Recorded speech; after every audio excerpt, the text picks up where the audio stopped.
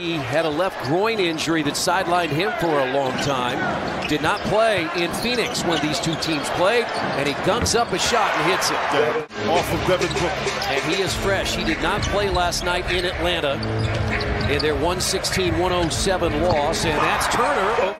And so the Pacers out to a 5 to 3 lead.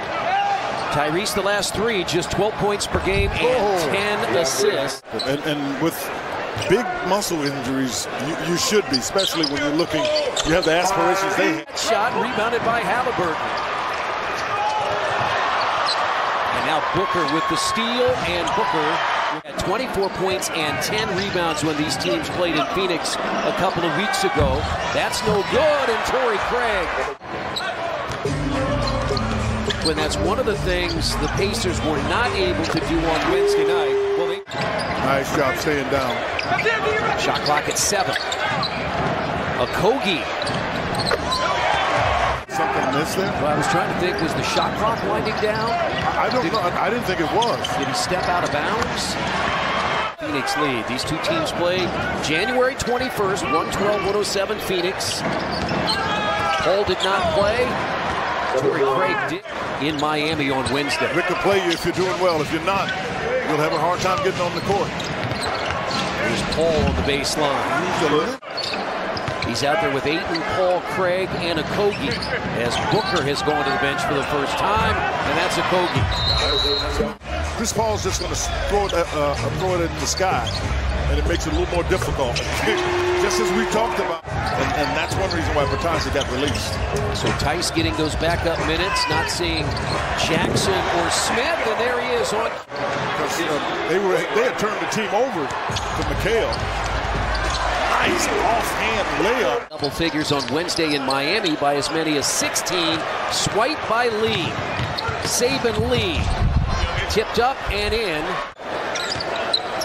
Yeah, you'd almost like default to him. But you would default to him. That's why I'm saying it's too easy. Mather. Now he's learning. Now he is learning.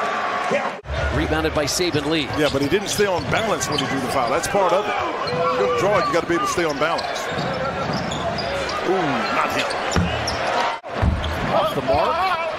Yambo is able to get that over. He, he, got that with Buddy Hield between him and the ball. And Wainright steps into a three. Now he comes out well out behind the three-point arc from the post. And now Wainright just hit one there, and that's another.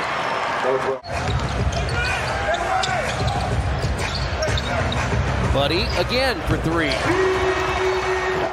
Nice job. Very good defensive job. Fumbling it, picked up. That's why it was a good job. And what a dunk by Mathurin. Little windmill dunk there. Bench stood up for that. Ayton spins. Jump hook good. The previous 10 when they were 8 and 2, they were near 50%. Paul again. Oh, All day. Those are the shots. In Miami on Wednesday, and they cannot get a three to drop. Now Turner steps into a three, and he got it. I thought he was telling Booker he had two. I'm thinking, that's perfect. But no, my fault. Haliburton, pull-up jumper, good. Good screen by Myles. You're here at home. You have to make them play, play, play the way you want them to play. Haliburton hits the three. All of a sudden, it became an eight-point I like this. Phoenix advantage. That was very early. Okogie. Wow. Out there. I mean, hey, that's just, that's Chris. That's You got to know that's part of his MO. And then Paul. Standing wide open was Devin Booker. he didn't throw it to him. Hield clearing space, put it in. You know, sometimes guys just fall down. Yeah. I know it's hard to believe with these highly paid athletes. And, and Mathurin stayed basically where the Pacers, the way they coach it. Guy goes baseline, you stay baseline. Lob. Oh, so he had the backside. Rebound tipped out by Craig, but the Pacers have it with Mathurin. He's going to attack. Goes right to the basket and got it. Game road trip. They lost last night in Atlanta. They won their first three against Boston, Brooklyn, and Detroit. That's his favorite movement. Not, not reversing it. He's going to spin, but he's spinning, spinning to a strong hand. Nesmith right back to Haliburton in the corner for three. Clock at four, lost his balance. Here's Damion Lee. And he missed the layup. Paul there, though, with the rebound and scores. And then he's too big for you to get to his shot. 34 years of age, and you know the good news for Durant as they go inside Landale with the basket. You know, but it's pretty close. It's, it's Chris. It really is. It's pretty close. Tice got it from McConnell. Got to be able to withstand that, and and, and and I think that's one of the things that some of the guys are struggling with. And McConnell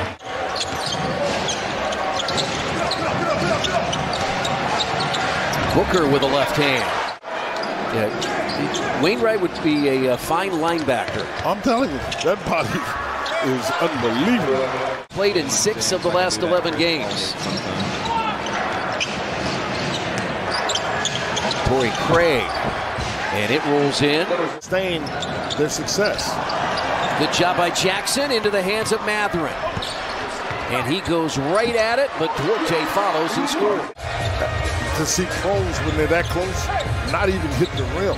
Isaiah Jackson for three. This one is a tough one to get back into. Yeah, Pacers will enter tomorrow night on a 10-game road losing streak. That's a good alley-oop and a foul against Miami on Wednesday night.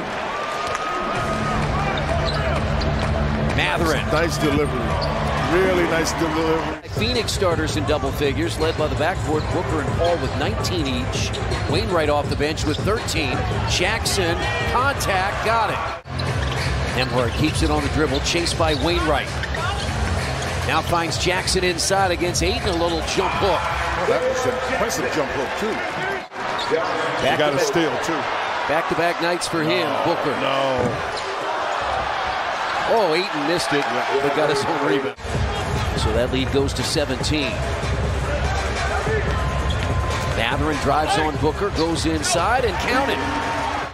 They'll try to make a change tomorrow night in Washington. And then Utah here on Monday, Chicago. Here's another alley-oop to Jackson.